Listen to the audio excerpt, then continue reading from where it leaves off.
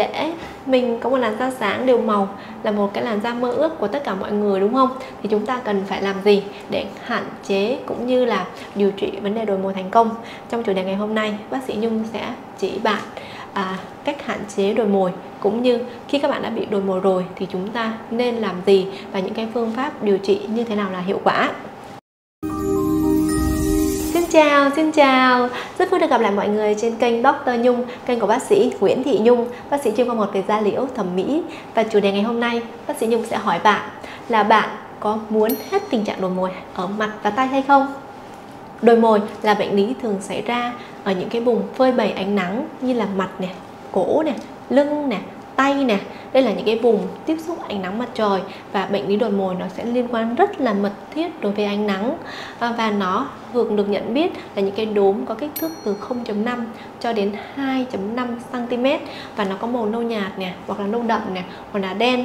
Chúng có thể phẳng trên bề mặt da hoặc có thể gồ ghề trên bề mặt da gây mất thẩm mỹ rất là nhiều. À, như bạn rất là tự ti nè ảnh hưởng đến cuộc sống nè ảnh hưởng đến giao tiếp nè và đặc biệt có nhiều bạn á, là make up trang điểm cũng không thể che được cái tình trạng đồi mồi. Thì để mình có một làn da sáng đều màu là một cái làn da mơ ước của tất cả mọi người đúng không? Thì chúng ta cần phải làm gì để hạn chế cũng như là điều trị vấn đề đồi mồi thành công? Trong chủ đề ngày hôm nay bác sĩ Nhung sẽ chỉ bạn à, cách hạn chế đồi mồi cũng như khi các bạn đã bị đồi mồi rồi thì chúng ta nên làm gì và những cái phương pháp điều trị như thế nào là hiệu quả? Đầu tiên đồi mồi là bệnh nên được phòng chống chúng ta phòng hơn tránh. Có nghĩa là các bạn nên phải chống nắng kỹ để mình không bị tình trạng đồi mồi. Và chống nắng kỹ là như thế nào? À, nhiều khách hàng của bác sĩ nhung không hề có ý niệm về chống nắng.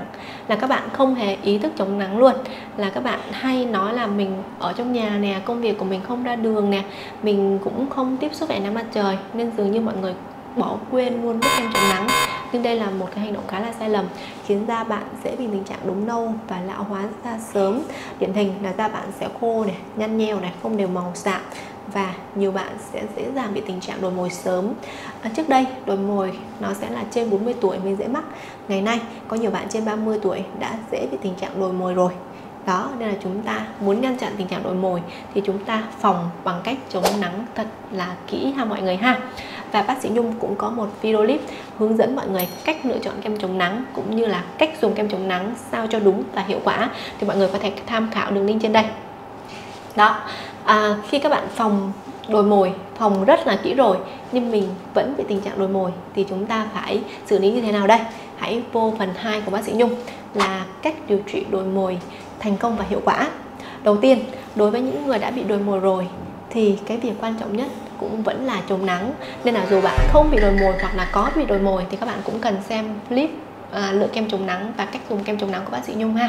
Đó à, bước đầu tiên khi các bạn bị đồi mồi rồi vẫn là phải dùng kem chống nắng để mình ngăn ngừa không hình thành những cái đốm đồi mồi mới. Còn việc của bác sĩ Nhung là hướng dẫn bạn à, điều trị những cái tình trạng đồi mồi đã được hình thành rồi.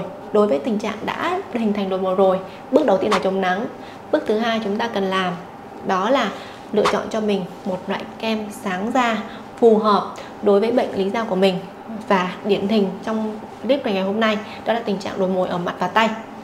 Thì chúng ta phải lựa chọn những loại kem thế nào?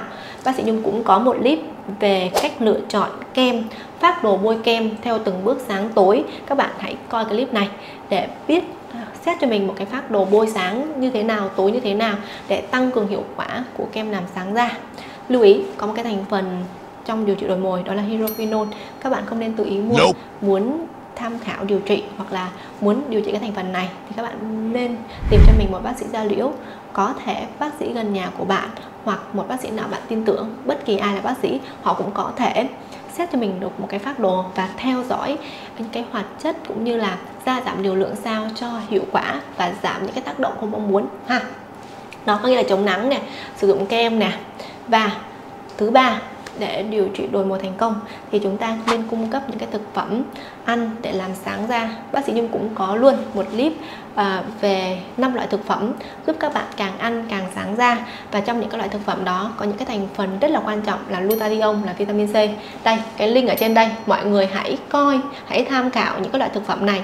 Khi mình ăn nhiều ngoài cái làn da sáng và đều màu thì các bạn còn có một làn da giảm nhăn này, giảm lão hóa này và giảm chảy xệ, giúp da mình mềm, mượt, mịn và trắng sáng đều màu hơn, được không? Đó, chống nắng nè kem nè chế độ ăn. Và sau khi các bạn áp dụng ba cách đó mà tình trạng đồi mồi của mình vẫn không giảm thì đây là lúc các bạn cần đi gặp bác sĩ da liễu. Thì những cái liệu pháp mà để điều trị triệt để hiệu quả nhanh đối với tình trạng đồi mồi thì bác sĩ Nhung sẽ liệt kê hai phương pháp thôi hai phương pháp hay sử dụng. Phương pháp đầu tiên đó là chemical peel à, như các bạn đã biết tình trạng đồi mồi là những tình trạng đốm nâu bề mặt thường nó rất là nông có thể phẳng trên mặt da hoặc là gồ trên mặt da. Và cái liệu pháp chemical peel là liệu pháp chỉ định đầu tay.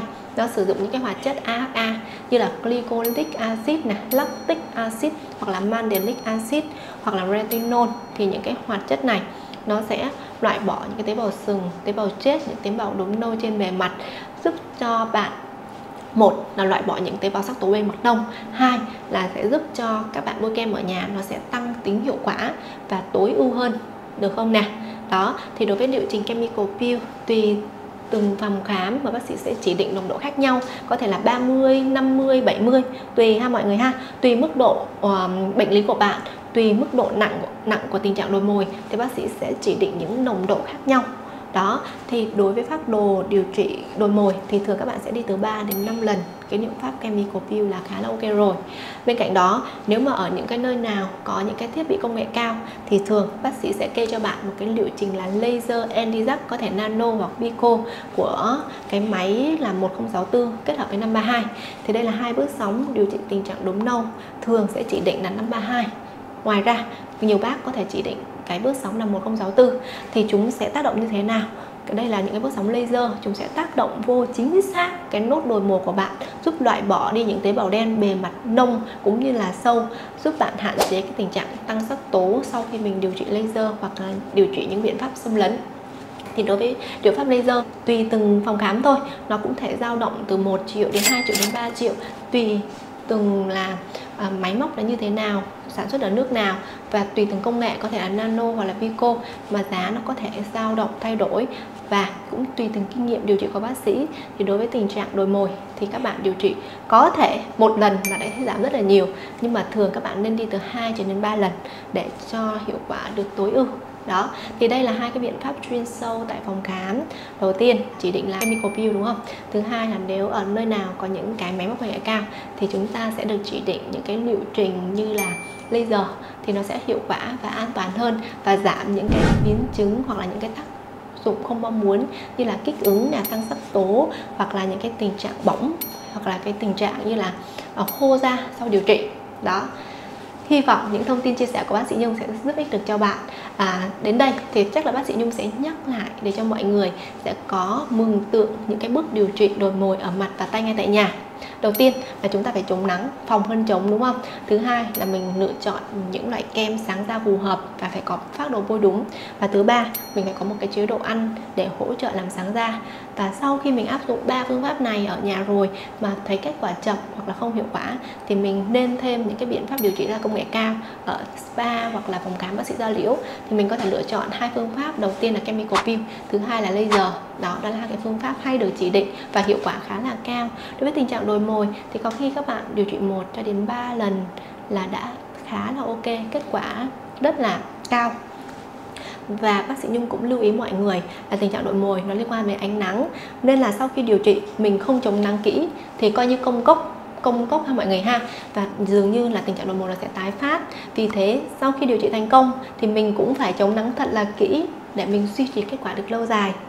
Hy vọng những thông tin hôm nay của bác sĩ Nhung chia sẻ sẽ giúp ích được cho mọi người, giúp mọi người có thêm kiến thức về đồi mồi cũng như có một cái nhìn tổng quan về các phương pháp điều trị đồi mồi, giúp mọi người dễ dàng tìm cho mình được một phương pháp phù hợp đối với bản thân, giúp các bạn có một làn da sáng hơn, đều màu hơn, đẹp hơn và giúp các bạn tự tin hơn trong cuộc sống.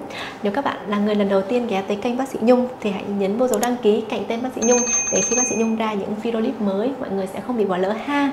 Hoặc là bất kỳ ai có những thắc mắc riêng muốn hỏi bác sĩ Nhung hoặc muốn bác sĩ Nhung tư vấn điều trị da thì mọi người có thể inbox hoặc là comment xuống phía dưới phần bình luận. Bác sĩ Nhung thấy, bác sĩ Nhung sẽ trả lời mọi người một cách nhanh nhất. Xin chào và hẹn gặp lại mọi người trong những video tiếp theo.